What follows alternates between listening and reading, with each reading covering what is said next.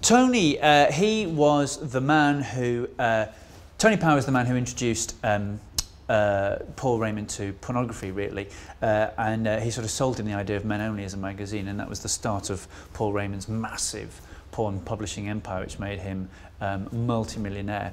Uh, and uh, he, Tony himself was uh, a huge drug head, massive coke head, uh, drank an awful lot. Just a really, he was a really talented journalist or you know editor uh, who um, I think was just excited about where he was. Um, lived a good life, absolutely, uh, 100%, and then um, very sadly died, as so often happens to people like that, died uh, in a in a fire. Um, he set himself on fire essentially with a, he fell asleep, stoned, pissed, fell asleep with a cigarette and his flat went on fire and he died. But he, before that, he'd been fired by Paul Raymond for just being too way out there. Well, what attracted me to the role was uh, uh, so Steve Coogan and Michael Winterbottom are making a film. Okay, you don't really need to hear any more than that. You don't need to hear what the film is or what the role is. Just please, yes, I'll do that. Well, um, in terms of researching the porn of the time, um, I spent most of my adolescence researching it. Uh, so I felt very, very, um, yeah, very, very clued up about that. However, um, there's not that much um, information about Tony Power himself. He's one of those people who sort of slipped through the internet. He's, um, he's not uh, a big enough name uh, for, for to have been, you know, for someone to have gone back and recorded his deeds and life. Um, you know, now he'd be all over the internet because everybody's all over the internet. Um, but he, yeah, so there's, there's not that much stuff. So it's been very odd, actually, uh, playing him. The beard and the hair, oh God, the beard and the hair. I mean, they do look amazing, but it takes best part of two hours every every morning to get into this.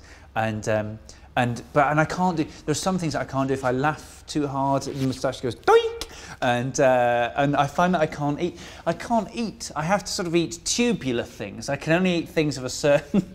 certain it's like you know that game at the fairground where you've got to take a, a sort of uh, there's a there's a bent metal wire and you have to not buzz as you take a hoop around it yeah it's, it's like that with eating I kind of have to only, I can only go that far with my mouth so anything, basically I'm living off Peperami. That's essentially the only, I, Peperami is the only thing I can eat.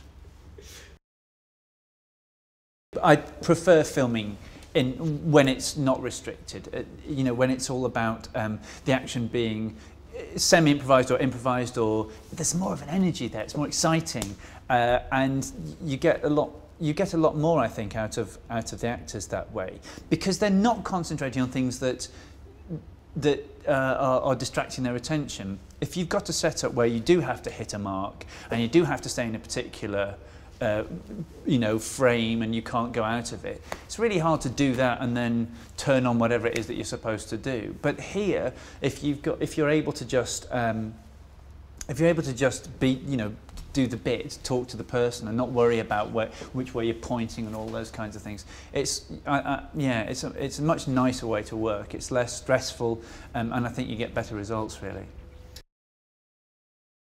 It's really strange to, to start to work with people that you've admired for, well, actually 20 years. Um, but he is, he's brilliant to work with because he's always thinking, he's always, um, he's always refining what it is that he's doing. Um, this morning's uh, uh, scene was a, is a really good example. You know, he was standing there as, as Paul making uh, a speech um, about his daughter at her wedding, and you could see him between each take figuring out uh, another little bit that he could add or a way of swapping stuff around or mannerism that would that would make more sense um, until you know by, by you know by by the final take it was just this is absolutely perfect. He's the, the, in my experience, the, the best people are the people who don't go, oh, that'll do. You know, or, I've done it that way, so, so now that I've established that, uh, I can take the excuse not to have to work on this anymore. I can just do the same thing over and over again. And Steve's really, really good at, at just teasing out every bit of, um, there, there's something in that. Let's find what's in that. And I really like that. That's, that's what he has in common with um, Armando and that's why they work so well on Partridge together, I think, is that that's their, that's their way of being. Well, Paul Raymond's story is fascinating because, for a couple of reasons. Firstly, because he became England's richest man, right? Off the back of you know, essentially pornography in the end. That's what it was. Pornography and, and um, which allowed him to buy Soho, allowed him to become this incredible property magnate. He was worth a billion and a half by the time he died four years ago. Um, and that's fascinating, that idea that in, in a country that's still quite hidebound about that kind of thing and really doesn't approve of the idea, the richest man in the country made his money from sex.